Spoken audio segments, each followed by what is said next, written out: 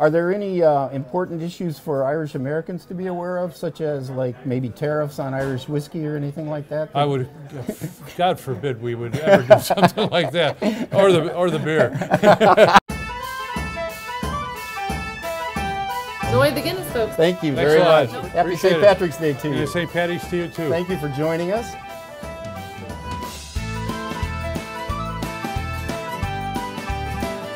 Welcome. We're here at the Dubliner. The Dubliner was opened in 1974 by Danny Coleman, son of an Irish immigrant. Danny uh, built this bar, designed it very much like a, an authentic pub in the city of Dublin. It's one of the most famous bars in Washington. It's at the corner of F Street and North Capitol.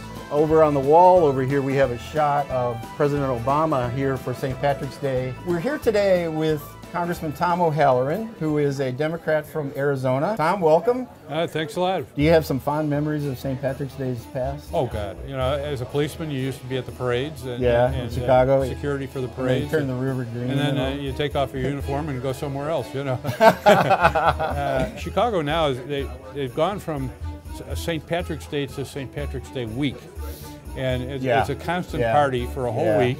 And then you have the downtown parade at one time, the South Side parade, which is up and going again. And uh, I'll tell you, it's, it's, it's a lot of fun. That's a lot of celebrating. It's yeah. a, it is, and it, it's Yeah. enjoy, it's a fun group of people. Right. And in, truly, in, in Chicago at least, uh, and I've been to some parades other places, everybody is Irish.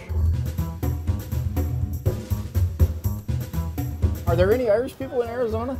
Oh, there's a lot of Irish in Arizona. Do you have a particular Irish writer that you're uh, fond of? Well, you had mentioned earlier Joyce. If you if you Yeah. don't if you're Irish and you don't appreciate Joyce, you're you're in big trouble. Uh-huh. And uh, uh, you know, it's it's not just uh, his style of writing; it's, uh, it's it's how he brought his stories together. I Yeah. think there's some paintings of him uh, on the walls I've seen him somewhere in in the the, bar. past. How about Irish uh, musical groups or musicians? The Clancy brothers are the ones I followed when I was growing up, and, Okay. and I still listen to them. I'm kind of partial to Wild Rover. Have Oh. you, you heard that song?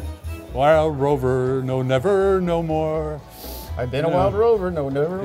Well, I play the wild rover.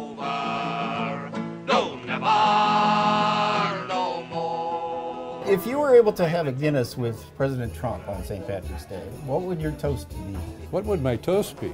for, for President Trump? I said, let, us try to find unity. Okay. Uh, you know, Aon is uh, is unity in, in Gaelic, and I, I, I try to seek what we all want to seek in this world is coming together. Uh, you know, us Irish, we're friendly people. Uh, we want to be friends with folks, and uh, I think the only way to do that is to try to come together. what would your toast be for all of your viewers at Roll Call and CQ? Um, have a great have a great St. Patty's Day and, and a merry, merry, merry life.